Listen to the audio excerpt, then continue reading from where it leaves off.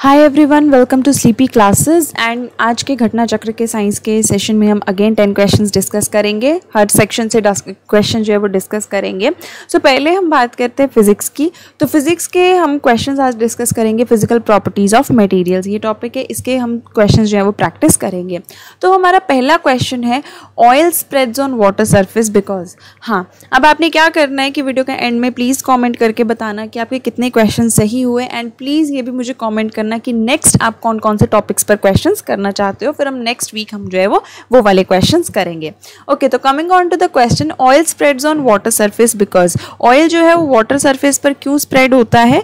Option A oil is denser than water option B oil is less dense than water option C surface tension of oil is more than water या option number D surface tension of oil is less than water so यहाँ पर हमारा correct option है. Option number D surface tension of oil is less than water जो water की, जो oil की surface tension है, वो क्या होती है? वाटर से कम होती है। सरफेस टेंशन वो प्रॉपर्टी होती है जहाँ पे क्या होता है ऐसे मीन सरफेस जो हमारी वाटर ड्रॉपलेट्स होती है, ठीक है, वो स्फेरिकल शेप में होती है। वो क्यों होती है? Because of the surface tension क्योंकि सरफेस टेंशन वो प्रॉपर्टी जो क्या कर देती है, किसी भी चीज़ का जो सरफेस एरिया है, वो क्या कर देती है? बहुत ज़्यादा कर देती है, ठीक है? तो उस जब सरफेस एरिया ज़्यादा हो रहा है तो सरफेस टेंशन वो किस कारण हो रहा है? वो सरफेस टेंशन की वजह से हो रहा है।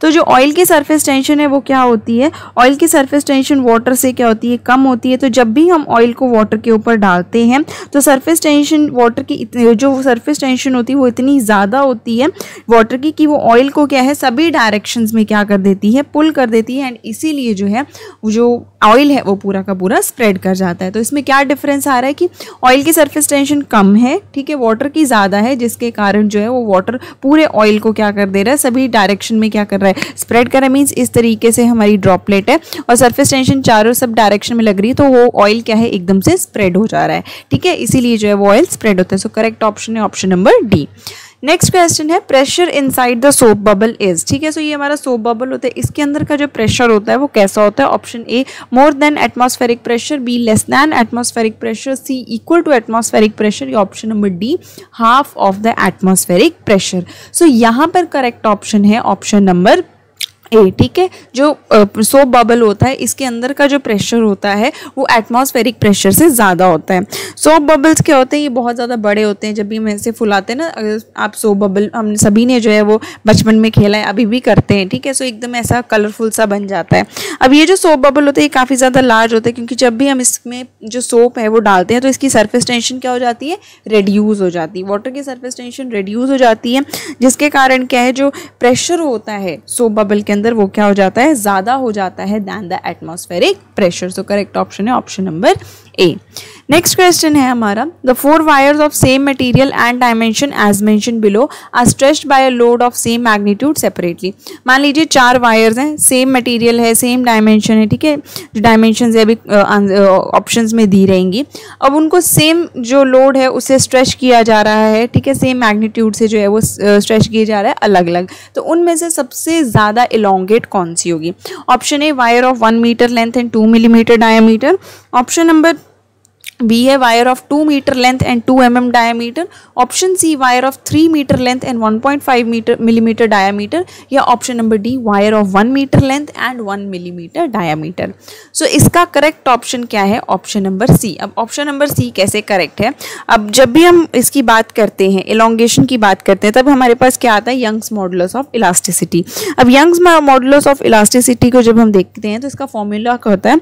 It is equal to force upon area divide divided by you divided by elongation upon length. ठीक है सो अब अगर हम इसको कैलकुलेट करेंगे तो हमारे पास कुछ इस तरीके से आ जाता है। इलोंगेशन हमारी डायरेक्टली प्रोपोर्शनल होती है to the length and diameter का स्क्वायर तो अब ये क्या है? इलोंगेशन जो है वो लेंथ की क्या है? डायरेक्टली प्रोपोर्शनल है तो जिसकी लेंथ सबसे ज़्यादा होगी इलोंगेशन भी उसकी सबसे ज़्यादा होती है। तो यहाँ पर सबसे ज़्यादा लेंथ किसकी है? तीन मीटर जो है वायर की सबसे ज़्यादा लेंथ है। तो ये क्या है? सबसे ज़्यादा इलोंगेट होगा। ठीक है सो करेक्ट ऑप्शन आता है यहाँ पर ऑप्शन नंबर सी ठीक है? ओके सो नेक्स्ट क्वेश्चन क्या है हमारा? नेक्स्ट हम अब केमिस्ट्री के क्वेश्चन सॉल्व करेंगे एंड केमिस्ट्री में हम डिस्कस करेंगे इनऑर्गेनिक पोर्शन इनऑर्गेनिक केमिस्ट्री के क्वेश्चन जो है वो हम देखेंगे. सो so, पहला क्वेश्चन है what is the property of oxides of group three and group four ठीक है ग्रुप थ्री और ग्रुप फोर जो पीरियोडिक टेबल में है उनके जो ऑक्साइड्स होते हैं उनकी क्या प्रॉपर्टी होती है? Option A basic and acidic B basic C acidic या डी न्यूट्रल। सो यहाँ पर हमारा करेक्ट ऑप्शन है option number A basic and acidic जो हमारा पीरियोडिक टेबल होता है। इस तरीके से ये पीरियोडिक टेबल है, ये group number one two three four so ये जो है, ये हमारा क्या है group number three and four है। जब भी इनके ऑक्साइड्स बनते हैं तो कुछ एसिडिक भी होते हैं एंड बेसिक भी होते हैं, ठीक है? मीन्स वो दोनों ऑक्साइड्स बनाते हैं, कुछ एसिडिक भी बनाते हैं एंड बेसिक भी बनाते हैं। और इसीलिए इन ऑक्साइड्स को हम क्या बोल देते हैं? एम्फोटेरिक ऑक्साइड्स एम्फोटेरिक ऑक्साइड्स जो होते हैं, वो कौन से ऑक्साइड्स होते हैं?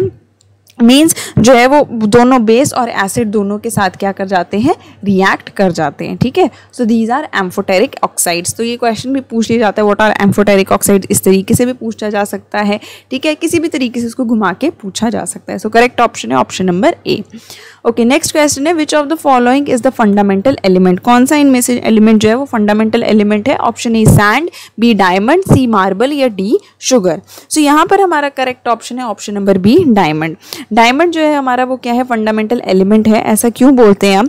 क्योंकि जो डायमंड है वो किस चीज़ से बने? It is the purest form of carbon carbon का प्योरेस्ट फॉर्म है, ठीक है? और किस स्ट्रक्चर में होता है? हमारा क्रिस्टल स्ट्रक्चर होता है. जबकि अगर हम बाकी बात करें सैंड तो सैंड में क्या क्या होता है? सैंड में सिलिकन एंड ऑक्सीजन होता है।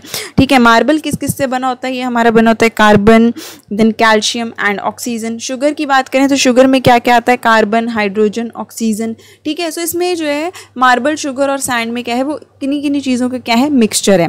लेकिन जो डायमंड है, वो क्या है? एकदम प्योरेस्ट फॉर्म है किसकी? कार्बन की। सो इसमें से जो सबसे ज़्यादा फंडामेंटल एलिमेंट है, वो कौन सा है? Option number B diamond next question है हमारा which of the following element was first produced artificially कौन सा एलिमेंट सबसे पहले आर्टिफिशियली प्रोड्यूस हुआ था? Option A neptunium option B plutonium C francium या डी टेक्नीशियम सो इसमें करेक्ट ऑप्शन है हमारा option number D technetium technetium जो है वो एक पहला एलिमेंट है जो कैसे प्रोड्यूस किया गया था? आर्टिफिशियली प्रोड्यूस किया गया था। सो so, ये इस तरीके से दिखता है ठीक है? और इस ये जो एलिमेंट है इसका केमिकल नंबर क्या अटोमिक नंबर क्या है? 43 अगर पीरियोडिक टेबल में देखें तो 43 जिसका अटोमिक नंबर है वो कौन सा एलिमेंट है हमारा? टेक्नीशियम और ये जो है सबसे पहले आर्टिफिशियली प्रोड्यूस किया गया था और इसको किसने आइसोलेट किया था?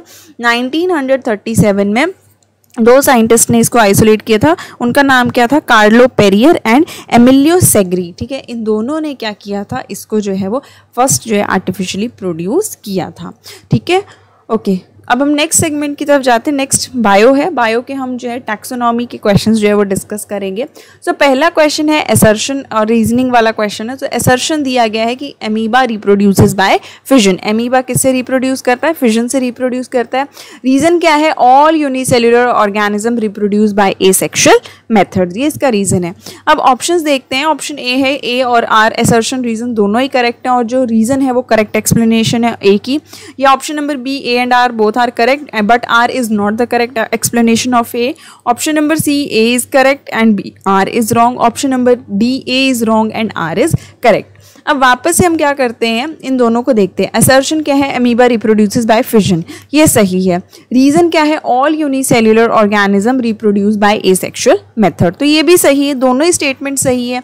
लेकिन इसमें क्या है? R is also the correct explanation of A ठीक है? सो करेक्ट ऑप्शन आएगा। ऑप्शन नंबर ए अब ये सही कैसे हुआ? क्योंकि अमीबा क्या है? अमीबा एक यूनिसेल्युलर ऑर्गेनिज्म है जो क्या करता है? अपनी शेप जो है वो चेंज करता रहता है थ्रू द सीरोपोडिया सो इस तरीके से अमीबा जो है वो दिखता है। ठीक है? सो ये सीरो सीरोपोडिया सीरोपोडिया के थ्रू अपनी अपना जो शेप है वो चेंज करता रहता है। एंड साथ में ये किससे रिप्रोड्यूस करता है? By the process of fission अब बाइनरी फिजन की प्रोसेस क्या होती है? ए सेक्शुअल मेथड होता है रिप्रोडक्शन का। मीन्स यहाँ पे अगर हमारा पेरेंट है तो ये क्या करेगा? It will divide into two daughter cells ठीक है? दो डॉटर सेल्स में जो है ये क्या कर जाते हैं? डिवाइड जो है वो कर जाता है। उस प्रोसेस को हम बोलते हैं फिजन अब जितने भी यूनिसेलुलर ऑर्गेनिज्म है, वो सारे के सारे ए सेक्शुअल मेथड से ही रिप्रोड्यूस करते हैं। लेकिन कुछ ऐसे यूनिसेलुलर यू होते हैं जो ए सेक्शुअल एंड सेक्शुअल दोनों मेथड से जो है वो रिप्रोड्यूस कर सकते हैं ठीक है? बट अगर हम प्रोकैरियोट्स की बात करें तो जितने भी प्रोकैरियोट्स हैं यूनिसेल्युलर प्रोकैरियोट्स वो सारे के सारे ए सेक्शुअल मेथड से ही रिप्रोड्यूस करते हैं। सो so, इसमें ऑप्शन नंबर ए करेक्ट होगा। ओके नेक्स्ट क्वेश्चन है which of the following statement is not correct इनमें से कौन सी स्टेटमेंट करेक्ट नहीं है? Option A all echinoderms are viviparous B round worm has no circulatory system C in bony fishes swim bladder is usually present या option number D in cartilaginous fishes fertilization is internal so यहाँ पर हमारा correct option जो option जो correct है mean statement जो incorrect है, वो कौन सी स्टेटमेंट है? Option number A all echinoderms are viviparous ठीक है राउंड वॉर्म्स के पास सर्कुलेटरी सिस्टम नहीं होता ये एकदम करेक्ट है। ठीक है? बोनी फिशेज जो होती हैं, उसमें स्विम ब्लैडर यूजुअली प्रेजेंट होता है, ये भी सही है। कार्टिलेजनस फिशेज में जो फर्टिलाइजेशन होती है, वो इंटरनल होती है, ये भी सही है। और जितने भी एकाइनोडॉम्स होते हैं, वो विविपैरस होते हैं सारे के सारे, ये स्टेटमेंट गलत है। अब एकाइनोडॉम्स क्या होते हैं? एकाइनोडॉम्स जो होते हैं, जितने भी हमारे ये काइनोडॉम्स क्या आते हैं? इन्वर्टिब्रेट्स में आते हैं। इन्वर्टिब्रेट्स कौन से ऑर्गेनिजम्स होते हैं? जिनमें बैकबोन प्रेजेंट नहीं होती है जिनमें वर्टिब्रल कॉलम नहीं होता है। सो so, काइनोडॉम्स में हमारे जैसे एग्जांपल आते हैं जैसे स्टारफिश है सी अर्चिन है ठीक है? सो ये सारे के सारे सी अर्चिन है सैंड डॉलर्स हैं सी क्यूकम्बर्स हैं ये सारे के सारे क्या है? एकाइनोडॉम्स हैं ठीक है? और ये मेरीन एनिमल्स होते हैं। इनको हम कैसे पहचान सकते हैं कि जब भी एडल्ट स्टेज में चले जाते हैं तो इनकी सिमेट्री कैसी हो जाती है? रेडियल सिमेट्री हो जाती है। और जब ये एकदम इनिशियल स्टेजेस में होते हैं मीन्स छोटे होते हैं, ठीक है, तब इनकी सिमेट्री डिफरेंट होती है। जैसे बड़े हो जाते हैं, तब इनकी सिमेट्री डिफरेंट हो जाती है।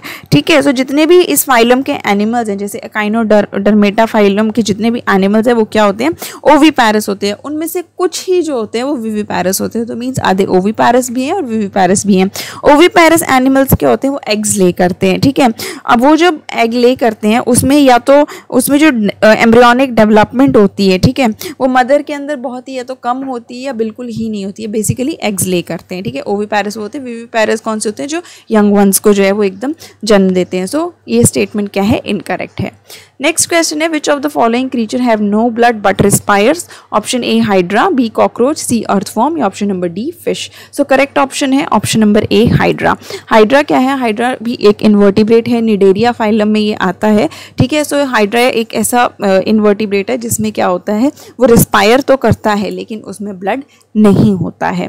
ओके लास्ट क्वेश्चन है which organism among these breathe from skin skin skin से कौन ब्रीद करता है? Option A fish B pigeon C frog या option number D cockroach so यहाँ पर करेक्ट ऑप्शन है ऑप्शन नंबर सी फ्रॉग ठीक है फ्रॉग जो होता है फ्रॉग के पास जो होता है फ्रॉग स्किन से भी ब्रीद कर लेता है और साथ में इसमें लंग्स भी प्रेजेंट होती हैं, वो लंग्स से भी ब्रीद कर सकता है। क्योंकि फ्रॉग क्या है?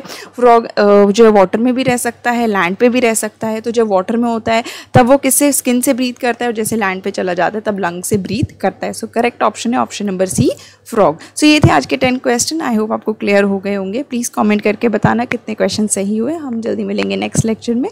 तब तक के लिए stay safe take care and bye bye